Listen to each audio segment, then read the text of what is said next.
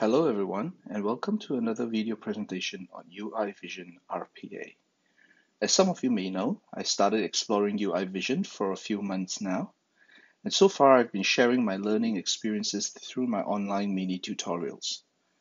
I think I now have enough of an exposure to UI Vision to know its capabilities to give a personal review on the solution. So to start off, I thought it might be good if we took a step back and to get all of us on the same page as to what RPA or robotic process automation is all about.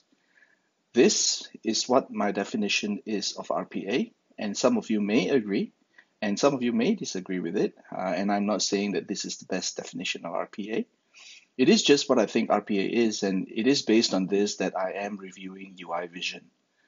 So, RPA to me is a technology that enables the automation of highly repeatable computer related activities that have been traditionally done by human beings, with the emphasis on the words that has been capitalized here.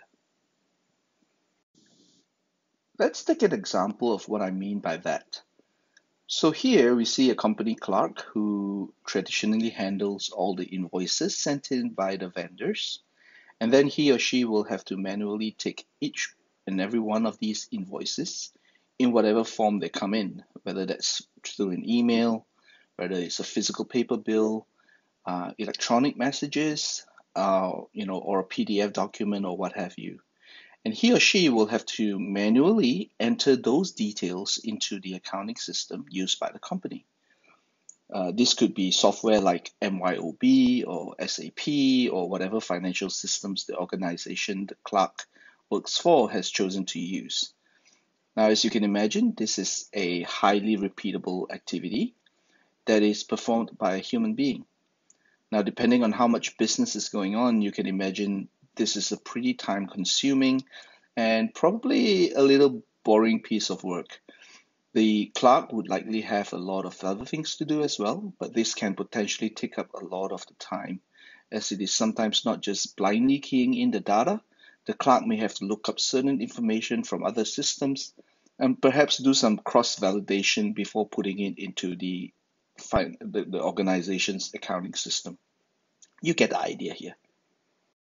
Now, because this is a highly repeatable activity, it can essentially be replaced by an RPA bot. The RPA bot will take over the job of collecting all of these invoices in all its various forms, do whatever cross validation and cross checking that it needs to do with other systems, and proceed to enter the data into the accounting system. And the idea is that by using a bot to do this, we can process a lot more invoices in a much shorter amount of time. Using a bot will also likely result in less errors because humans tend to make mistakes when transposing data. Now that we are on the same page about what RPA is about, let's see what are some of the basic must-haves for an RPA software and what would be nice to haves. As a start, an RPA software will need to have the ability to read inputs from many different sources. Using the example earlier, the RPA software must be able to read the invoices. As invoices can come in many forms, they can be sent in as an email or delivered as a PDF document, or it could be a link to an online invoice on a website. So a good RPA software must be able to process inputs from various types of sources in various types of formats. With all the inputs, then the RPA software will need to be able to automate the actions. Using the example earlier, it must be able to replicate the actions of the clerk to look up other applications or other systems and read data of them so that it can be cross-checked with the data it picked up from the invoice. It must then be able to enter the data into the accounting system. So that's point number two. A good software, a good RPA software must have the ability to automate on different applications and on different platforms. The third point is the stability of the RPA software. A good RPA software must be able to run 24 by 7 and must also have the abilities to recover from errors. Now, those three points I believe make up the must haves for any RPA software. Now, let us take a look at some of the nice to haves of an RPA software. First, it must be easy to automate. Some may argue that this is a need to have, but I beg to differ.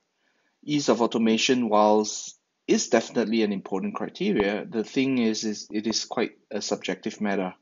And chances are there are lots of technical resources available that can help with the automation. To me, an RPA software needs to first and foremost be functional, uh, but it would really be nice to have if it can be done by a business or a non-technical user. Secondly, it is about the ability to manage and control all of the bots from a central system, or what is known as orchestration. This is a nice to have in my opinion because it really depends on how much you are automating. If you are going to replace a large number of human activities with the bots, then yes, the ability to orchestrate all of your bots from a single interface is essential. But if we are starting to automate just a few business processes here and there with one bot each, then perhaps it is not as essential. But really, I'm I am a little too minded about this. But seeing as RPA can be small scale or large, I believe it is not essential at this point, but really a nice to have. And the last point I want to make here is the cost. How much does the RPA software cost? because if I'm replacing my workforce with it, I am looking to save some money in the process. If the cost of the software is too much or exorbitant, uh, and not to forget, I still need to pay people to automate it, it might not be worth it. It is important to look not just at the cost savings of reducing the number of people on the job, but also on the benefits of less errors and risk that you can attain from jumping into RPA. So now that we've seen what an RPA software needs to be, let's see how UI Vision RPA stacks up. And we will start by exploring how well UI Vision handles input formats and types. Well, in this regard, UI Vision can certainly handle web pages. So if your inputs are from a website or a system that is accessible from a web browser, UI Vision should have no issues with that. UI Vision can also read Excel files, so it is best if it's one Excel file with each row representing one input because then UI Vision will have the ability to read every row and process it one at a time. I have a mini tutorial on this already and that you can check it out. Lastly, uh, UI Vision can also read PDF files and it uses optical character recognition technology or OCR technology to read words and information off the PDF file. Now, my experience with this personally hasn't been so great though. Um, I've had issues with scrolling the PDF document if it doesn't fit into the screen uh, and so on and so forth, but technically it can be done by UI Vision.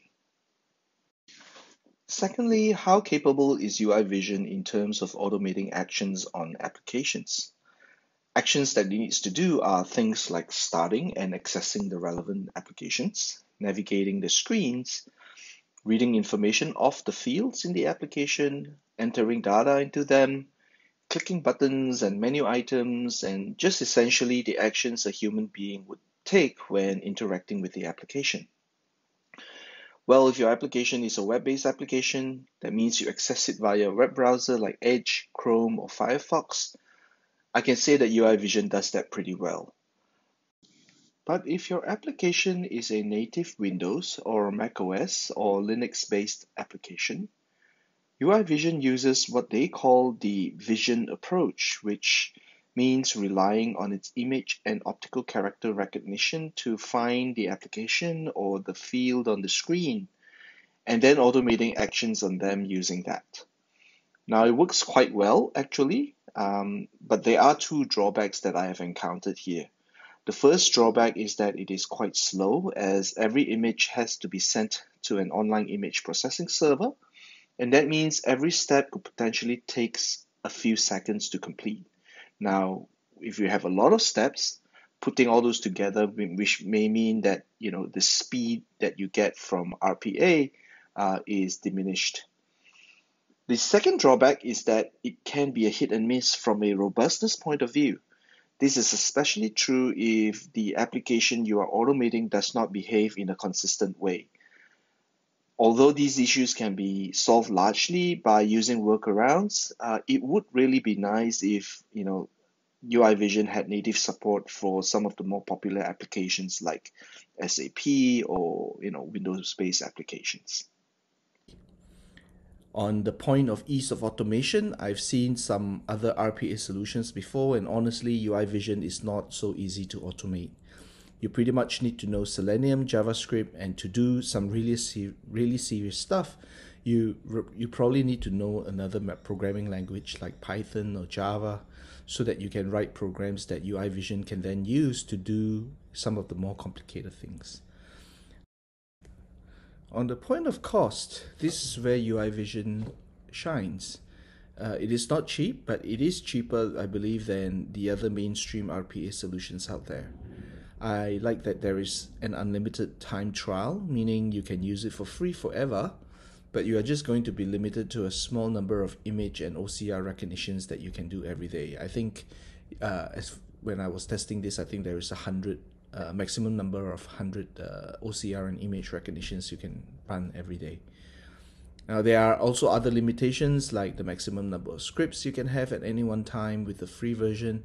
And that means if you are really looking to make this your RPA tool uh, for your business, you will likely need to pay, and that is fair. So before we end the session today, here's a quick take on how UI Vision stacks up as an RPA tool. It is good when it comes to input support as it can read the most common formats like a web page, like Excel and PDF files. Um, in terms of automating actions, it is not so great as it can really do web pages well, but for everything else, it relies on the vision approach. Uh, and that means using OCR or image recognition. Uh, this is a little slow today and it can be tricky if your application does not behave consistently. Um, platform support is good as it covers the all the major operating systems, uh, probably one of the only ones that does this. Uh, and in terms of robustness, it seems good when automating actions on web applications, but honestly, I haven't really tested the vision approach that much.